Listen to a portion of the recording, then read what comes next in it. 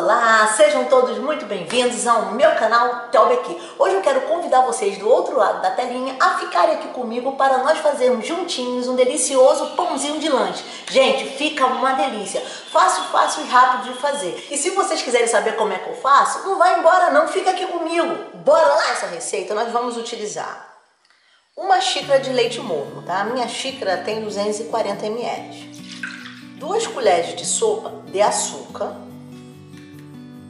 e aqui você vai colocar 10 gramas de fermento biológico seco para pão. Você vai dar uma mexidinha para dissolver o açúcar, tá bem? Depois de vocês misturarem o açúcar com o fermento e o leite, vocês vão pegar 3 colheres de margarina e derreter. Pode levar no banho-maria ou no micro-ondas. É bem rapidinho de fazer, gente. Fácil, fácil e vocês vão colocar um ovo, um ovo inteiro. E vocês vão colocar junto a essa misturinha uma colherzinha de sal de chá. Mexe. E agora vocês vão acrescentar a farinha de trigo, tá? Aqui tem quatro xícaras de farinha de trigo, tá bom?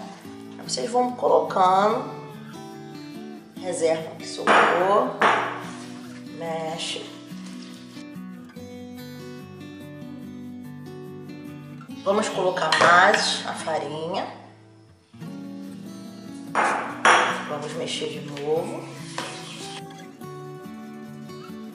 Depois, gente, nós vamos colocar essa massa na bancada, tá? Nós temos que solver essa massa por 5 minutos. Colocar o restinho da farinha de trigo. Vamos mexer.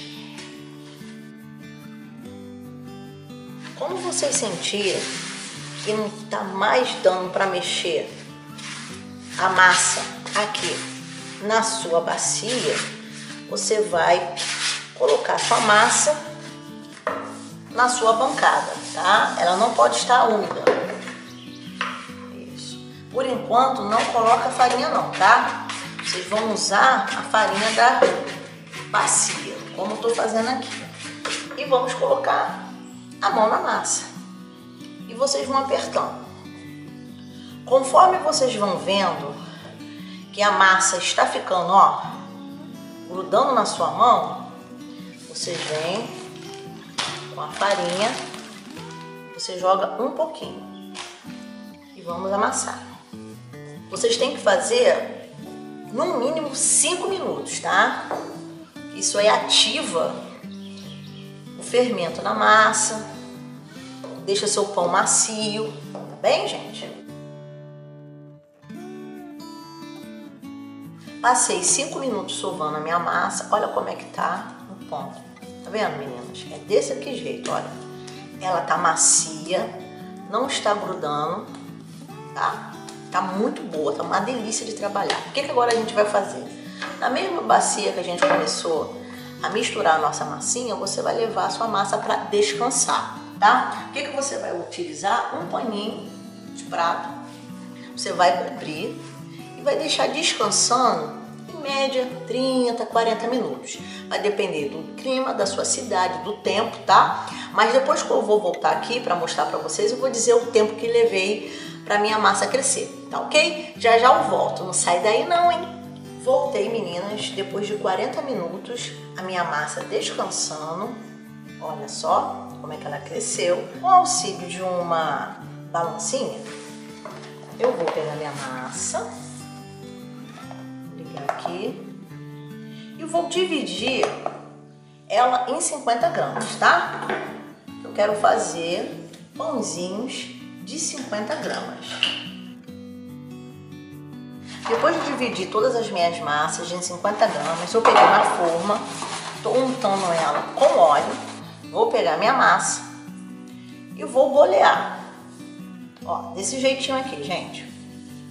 Ó, você vai pegar a sua mão, você vai fazer como fosse uma cuia. E você vai botar a sua mão em cima da massa, pressionar, mas não amassar vocês vão enrolando assim, ó. Ó, agora eu vou ensinar vocês um outro jeito, tá bom? Vocês vão amassar aqui a massa, ó. Vocês vão colocar as pontinhas dela pra dentro, ó, desse jeito. E vocês vão fazer bolinhas, como se estivesse fazendo um brigadeiro. Ó, vou lá mais um pouquinho. Ó, tá vendo? Desse jeitinho aqui. Se vocês não conseguirem fazer daquele jeito, tem esse outro jeitinho aqui para fazer. E vocês vão colocando o seu pãozinho com um espaço de um dedinho, tá vendo? De um para o outro. Bom, depois que eu acabei de fazer todos os meus pãezinhos, renderam 16 pãezinhos, tá vendo, pessoal? Ó, coloquei ele. O que, que agora eu vou fazer? Vou cobrir e vou deixar descansar em média de 15 a 20 minutos. E depois eu volto aqui pra gente finalizar ele e colocar ele no forno, ok? Já se passaram 15 minutinhos, olha só como é que eles estão. Já liguei o meu forno, tá? A 200 graus, ok? Aqui eu coloquei uma gema e três colheres de sopa de leite, apenas isso. Misturei e agora, com a ajuda de um pincel, vou pincelar os pãezinhos. E agora eu vou levar ao forno em média de 20 a 25 minutos ele assando. E já já eu volto com vocês com o resultado final dos nossos pãezinhos.